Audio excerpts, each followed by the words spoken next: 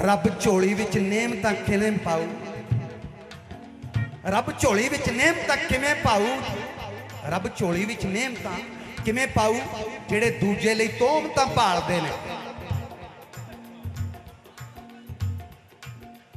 ਰੱਬ ਝੋਲੀ ਵਿੱਚ ਨੇਮਤਾਂ ਕਿਵੇਂ ਪਾਉ ਜਿਹੜੇ ਦੂਜੇ ਲਈ ਤੋਮਤਾਂ ਭਾਲਦੇ ਨੇ ਕਰ ਆਪਣੀਆਂ ਧੀਆਂ ਨੂੰ ਪੁੱਛਦੇ ਨਹੀਂ ਕਰ ਆਪਣੀ ਨੂੰਹ ਨੂੰ ਪੁੱਛਦੇ ਨਹੀਂ।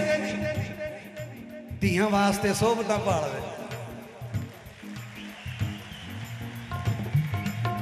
ਹੱਥੋਂ ਪੰਜੀ ਦਾ ਦਾਨ ਨਹੀਂ ਕਰਨ ਜੋਗੇ, ਲੋਕੀ ਰੱਬ ਤੋਂ ਦੌਲਤਾਂ ਭਾਲਦੇ ਨੇ। ਘਰੇ ਧੀ ਜੰਮੇ, ਲੋਕੀ ਬੁਰਾ ਮੰਨਦੇ, ਪੁੱਤਾਂ ਵਾਸਤੇ ਸੋਹਣੀਆਂ ਬੀਬੀਆਂ ਭਾਲਦੇ ਨੇ।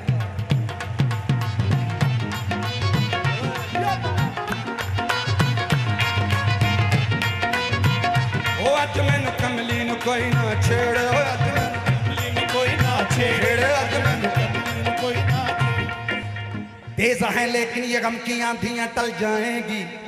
ان چراغوں کو نہ چھونا انگلیاں جل جائیں گی مت جلا مت نہاؤ جھیل میں مل مل کے یہ گورا بدن آگ پانی میں لگے گی مچھلیاں جل جائیں گی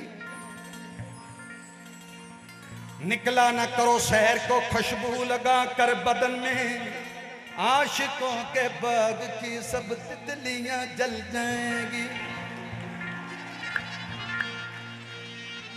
مت جلا دلہنوں کو۔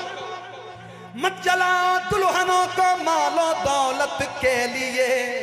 ورنہ ایک دن آپ کی بھی بیٹیاں جل جائیں گی۔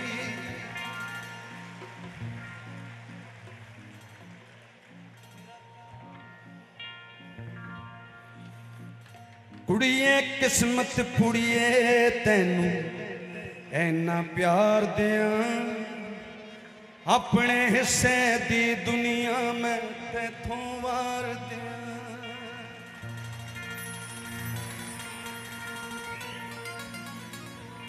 ਤੂੰ ਜੰਮੀ ਤਾਂ ਮਾਪੇ ਕਹਿਣ ਪਰ ਆਈ ਐ ਧੀਏ।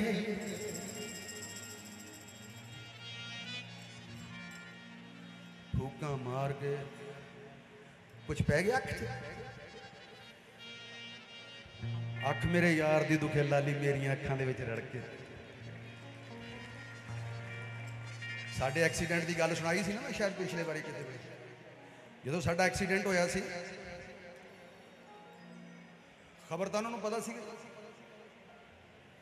ਸੂਲੀ ਨੂੰ ਸੂਲ ਬਣਾ ਕੇ ਟਾਲਦੇ ਮੋੜਦੇ ਨਹੀਂ, ਰੱਬ ਦੇ ਸ਼ਰੀਕ ਨਹੀਂ ਮੰਨਦੇ। ਜਦੋਂ ਮਰਜ਼ੀ ਤੇ ਆਣ ਉਹ ਵੀ ਕਰ ਦਿੰਦੇ ਪਰ ਜੇ ਸੂਈ ਦੀ ਸੂਲ ਬਣ ਕੇ ਟਲ ਜਾਏ ਐਦੋਂ ਵੱਡਾ ਟਾਲਣਾ ਕੀ ਹੋਇਆ? ਉਹਨਾਂ ਦੀ ਕਿਰਪਾ ਹੈ। ਜਦੋਂ ਐਕਸੀਡੈਂਟ ਹੋਇਆ, ਉਹਨੀਆਂ ਸਾਡੇ ਪਿੰਡ ਦੇ ਲਾਸ਼ਾਂ ਨਹੀਂ ਪਈਆਂ ਹੋਣੀਆਂ, ਜਿੰਨਾ ਸਾਈਂ ਦੇ ਪਿੰਡ ਦੇ ਉੱਤੇ ਪਈਆਂ ਸੀ। ਨੀਲੇ ਨੇ। ਜਦੋਂ ਕਹਿੰਦੇ ਸਾਈਂ ਜੀ ਥੋੜਾ ਉੱਠੋ, ਨਹਾ ਲਓ। ਕਹਿੰਦਾ ਜਦੋਂ ਨਹਾਤੇ ਆ ਭਰਾਵਾ ਰਾਤ ਕਹਿੰਦੇ ਜੀ ਫਿਰ ਵੀ ਨਾ, ਜਦੋਂ ਚੱਕਿਆ, ਸਾਈਂ ਜੀ ਕਹਿੰਦੇ ਆ ਕੀ ਹੋਇਆ? ਕਹਿੰਦੇ ਥੋੜੀ ਦੇਰ ਠਹਿਰ ਜਾ, ਇਹਦੇ ਤੇ ਆਉਣ ਵਾਲੀ ਹੈ। ਉਹ ਨਹੀਂ ਪਤਾ ਸੀ ਵੀ ਖਬਰ ਆਉਣ ਵਾਲੀ ਹੈ। ਕਹਿੰਦੇ, ਲਾ ਓਏ, ਟੈਲੀਵਿਜ਼ਨ ਲਾ। ਜਦੋਂ ਨਿਊਜ਼ ਚੱਲੀ, ਥੱਲੇ ਗੁਰਦਾਸ ਮਾਨ ਦਾ ਐਕਸੀਡੈਂਟ। ਦੋਨੋਂ ਬਚ ਗਏ।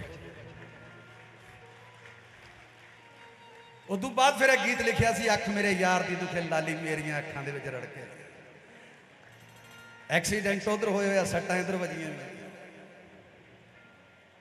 ਅੱਖ ਯਾਰ ਦੀ ਦੁਖਦੀ ਹੈ ਲਾਲੀ ਉਹਨਾਂ ਦੀਆਂ ਰੱਖਾਂ 'ਚ ਰੜਕਦੀ ਹੈ ਸਰੀਰ ਤੇ ਲਾਸ਼ਾਂ ਪਈਆਂ।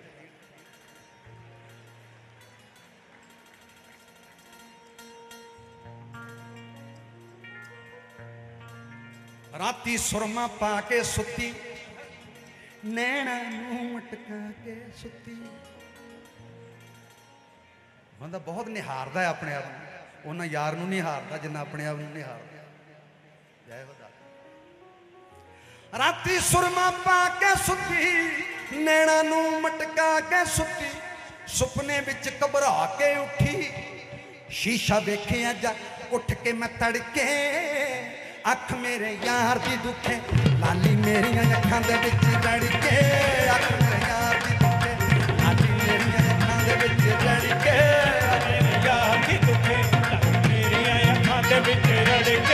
ਕੇ ਮੇਰੇ ਯਾਰ ਦੀ ਦੁਖੇ।